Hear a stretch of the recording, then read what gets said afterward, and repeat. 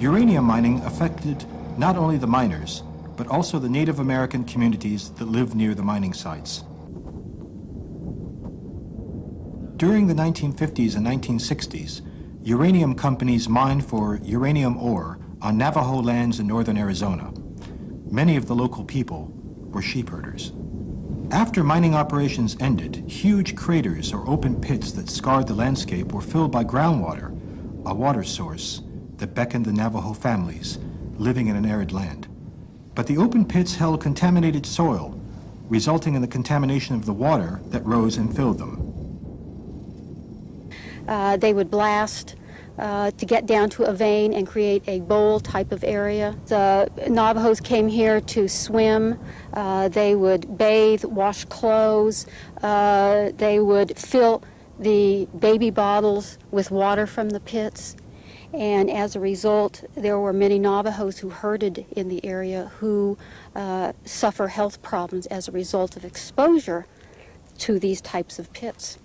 For example, uh, there is a family that lives in the area.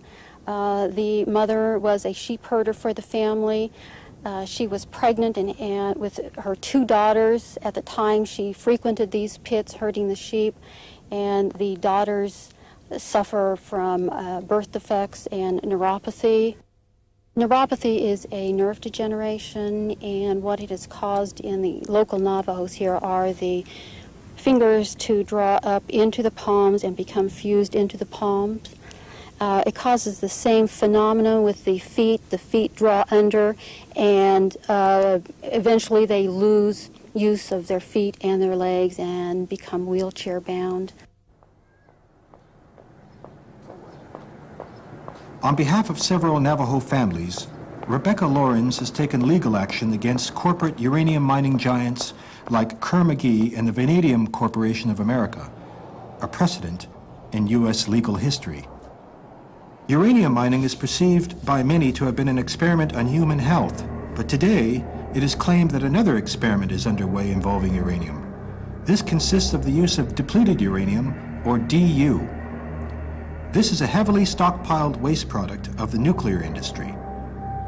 Depleted uranium is used in the manufacture of armaments and was used by U.S. and British forces for the first time in the Gulf War of 1991. There was no doubt in the Defense Department's mind that there would be long-term effects from depleted uranium. That was part of the calculation. They assumed that this was acceptable to do, and they went and they did it.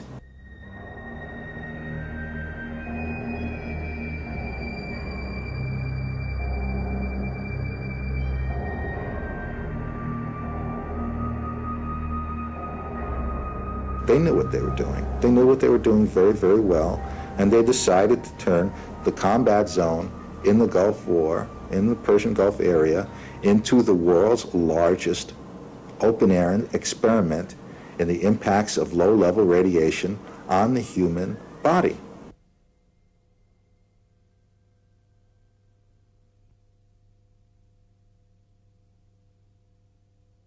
There was a group of 24 United States troops who were referred to me in the summer of 1991 for examination and opinion. I'm saying that at least a large percentage of the troops that were referred to me were suffering from the consequences of exposure to certain pathogenic factors. One of them in my assessment was depleted uranium. If you were to ask um, Gulf vets about whether they thought there was um, an international cover-up, you know, to, to hide the real cause of, of Gulf War illnesses, they would say probably to a man and a woman, yes, that's what they believed. The, the wider consequences of the Gulf War, um, in, in, summary, I would say Gulf vets themselves, more or less to, to, to a person, would say they had been experimented on if they were asked about um, them, what their experiences mean overall for them. Um, but the wider consequences include environmental, um, an environmental disaster. The, the uh, battlefields of Kuwait and Iraq um, are contaminated for whatever the half-life of DU is. You know, um, and all the equipment that was buried, the, the equipment that was hit by DU that's been buried uh, in Saudi Arabia. Presumably Saudi Arabia is also um, contaminated as well. Uh, the impact on, on the local civilian population is something we don't hear a great deal about. You know, but obviously humanitarian concerns would suggest that, that uh, we should know about what's happening, you know. And that the wider issues for Gulf veterans uh, who've had children uh, in the UK post-Gulf War is something really that needs to be um, explored uh, uh, and opened up further. Cover-up has been going on for several reasons. Reason number one is that uh, no government in the world would like to be implicated as being accomplice in the uh, acts against humanity. Number two reason is financial and fiscal concerns, because we do know that billions upon billions of dollars have been committed for the depleted uranium cleanup procedures, especially by the Department of Energy in the United States. So cleanup procedure for the last decade of this century was estimated to be $200 billion. It is obvious that any government would want to save $200 billion, and it was saved in the Gulf War by depositing it in the desert of Iraq instead of disposing it uh, in the cleanup procedures.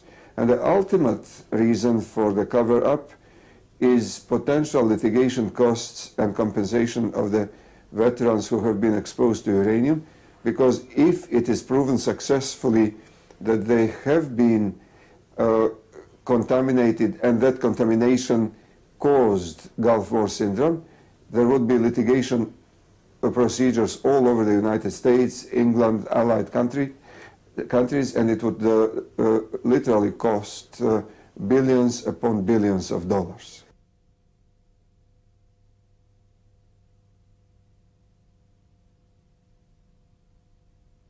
Large quantities of DU bullets and shells were fired off into Kuwait and Iraq.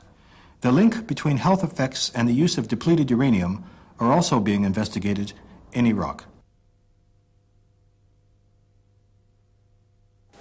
We registered in the Ministry of Health for the civilian and military personnel that there is unusual numbers of cases of leukemias and other cancers, uh, cancer of the skin, cancer of the bones, and cancers of the breast, and, and even of the GI, with the high percent of increase of the cancers of the urinary tracts.